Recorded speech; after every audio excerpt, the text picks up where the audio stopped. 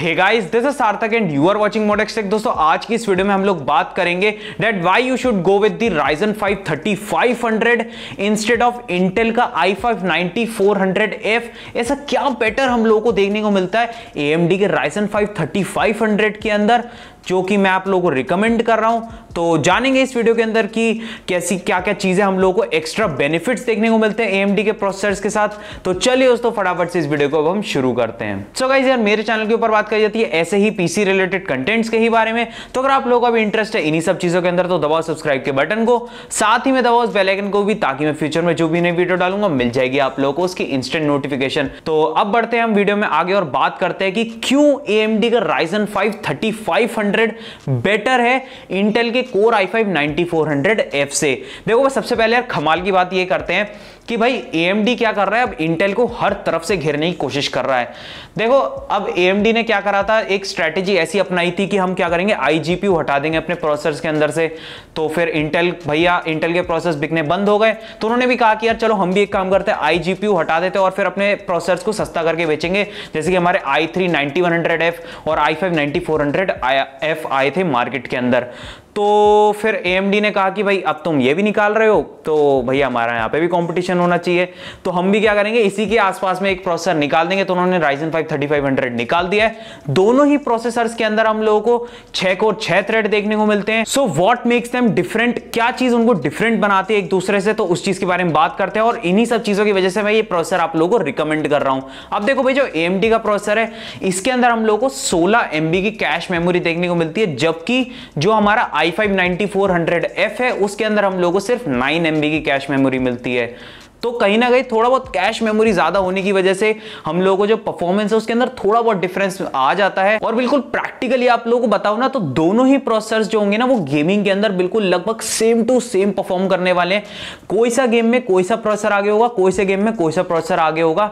But फिर भी हमें एएमडी के साथ कुछ एक्स्ट्रा बेनिफिट्स मिलते हैं, जिसकी वजह से मैं आप लोगों को ये रिकमेंड कर रहा हूँ। क्या है वो एक्स्ट्रा बेनिफिट्स उसके बारे में बात करते हैं। देखो, सबसे पहली चीज़ तो ये, अगर आप एएमडी के साथ जाते हो तो आप आ जाओगे एम फोर प्लेटफॉर्म के ऊपर तो आपके पास होगा फ्यूचर अपग्रेडेबिलिटी देखो फ्यूचर अपग्रेडेबिलिटी होने का फ़ायदा ये होता है कि आपने आज एक राइजन 5 3500 बाय करा। फ्यूचर में आपका मन हुआ, अगर आपके पास एक डिसेंट सा B450 मदरबोर्ड के साथ आप उसे पेयर करते हो देन आपके पास एक ऑप्शन होगा। You have the option to switch your processor आप अपने प्रोसेसर को स्विच कर सकते हो, एक नए प्रोसेसर के ऊपर जा सकते हो। अगर मैं मानूं कि बाद में जो भी फोर्थ जन फोर थाउज़ेंड सीरीज़ के जो भी नए प्रोसेसर आएँगे ए के तो उसके अंदर अगर मान लीजिए कोई आर सेवन आता है और अगर आपके पास एक अच्छा खासा एक अच्छी वीआरएम वाला बी फोर फिफ्टी मदरबोर्ड है और अगर आपने उसके साथ उसको पेयर किया था तो आप सिंपली बायोस फ्लैश करो। पुराने जो आप, आपका थर्टी फाइव हंड्रेड होगा उसको हटाओ। नया राइजन सेवन लगा दो। जबकि आपको पता हो इंटेल की साइड अगर हम जाते हैं तो अगर हम अपना प्रोसेसर बदलते हैं तो हमको अपना मदरबोर्ड भी बदलना पड़ता है। क्योंकि भाई इंटेल ऐसे ही करता है कि जब भी उनको नया प्लेटफॉर्म आता है कोई भी नई वो जनरेशन लॉन्च करता है तो उसके साथ में वो नए टाइप के मदरबोर्ड भी निकालते हैं नए सॉकेट के ऊपर तो आपका जो नया प्रोसेसर होगा वो आपके पुराने मदरबोर्ड के अंदर काम नहीं करेगा। तो आपको फिर एक नया मदरबोर्ड भी बाय करना पड़ेगा। तो ये काफ़ी ज़्यादा बुरी बात है और ये एमडी की तरफ़ एक काफ़ी ज़्यादा फ़ायदे वाली बात है। अब बात करते हैं कि अगर आप एक इंटेल के प्रोसेसर के साथ जाते हो तो आप उसे ओवरक्लॉक नहीं कर सकते। ये सबसे बड़ा एक बहुत बड़ा ड्रॉबैक है इंटेल के प्रोसेसर का, जबकि एएमडी के साइड आपको सभी पता है। आप सभी को पता है कि आप राइजन थ्री के साथ जाओ या फिर आप राइजन नाइन के साथ जाओ किसी भी राइजन सीरीज़ के प्रोसेसर के साथ चले जाओ। एवरी प्रोसेसर इज़ अनलॉक्ड सभी प्रोसेसर अनलॉक्ड है, किसी को भी आप ओवरक्लॉक कर सकते हो इजीली तो ये हम लोग को एक काफ़ी ज़्यादा अच्छी फ्लेक्सिबिलिटी इस प्रोसेसर के साथ हम लोग को देखने को मिल जाती है। तो आप इसको ओवरक्लॉक भी कर सकते हो। इवन अगर आप इसको A320 मदरबोर्ड के साथ पेयर करते हो देन आप अपने रैम्स को भी ओवरक्लॉक कर सकते हो। इसके अंदर एक A320 मदरबोर्ड लगा हुआ है और उसके अंदर मैंने रैम्स को ओवरक्लॉक कर रखा है। तो ये चीज़ आप लोगों को फ़ायदा मिल जाता है A320 मदरबोर्ड के साथ। अगर आपका बजट नहीं हो और A320 ले रहे हो तो रैम ओवरक्लॉक आप कर सकते हो और आपको ज़्यादा बेटर फ्रीक्वेंसी वाली रैम्स का सपोर्ट देखने को मिलता है, जबकि उसकी साइड अगर आप जाओगे तो आप मैक्सिमम उसके अंदर शायद 2600 मेगाहर्ट्ज तक की रैम का फ़ायदा उठा सकते हो, उसके ऊपर की रैम लगाओगे तो फ़ायदा नहीं होगा। और अगर आप अपने सीपीयू को ओवरक्लॉक करते हो तो आप उसके एक्स्ट्रा पोटेंशियल को आगे ले जा सकते हो, थोड़ी और अच्छी बेटर परफॉर्मेंस उससे निकलवा सकते हो। फ्यूचर में एक अच्छा सा कूलर ले लेना स्टॉक कूलर के ऊपर भी आप स्लाइटली ओवरक्लॉक कर सकते हो, बहुत ज़्यादा तो नहीं कहूँगा, थोड़ा बहुत ओवरक्लॉक कर सकते हो, क्योंकि हम सभी को पता है स्टॉक कूलर इंटेल से ज़्यादा अच्छा होता है एएमडी का। खैर वो छोड़ो बट मैं आपको बता रहा हूँ, अगर आप एक थोड़ा और अच्छे कूलर में इन्वेस्ट करोगे तो आप उसे ओवरक्लॉक करके थोड़ा और ज़्यादा उसके पोटेंशियल को हाई ले जा सकते हो। एट लास्ट जो हम लोगों को फ़ायदा देखने को मिलता है एएमडी की साइड वो ये है कि हम लोगों को इस पे पीसीआई एक्सप्रेस जेन 4.0 का सपोर्ट मिल जाता है। हाँ हाँ मुझे पता है।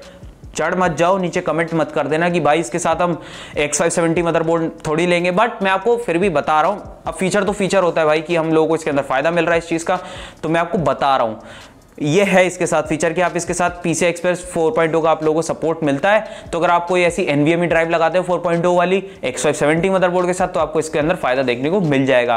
हालाँकि कोई करेगा नहीं बट फिर भी एक फीचर था तो मैंने आप लोगों को बता दिया है। और एट लास्ट मैं ये ज़रूर बोलूँगा कि अगर आप इंटेल के साथ ही जाना चाहते हो, नहीं है मन एमडी लेने का तो ठीक है भाई, चले जाओ।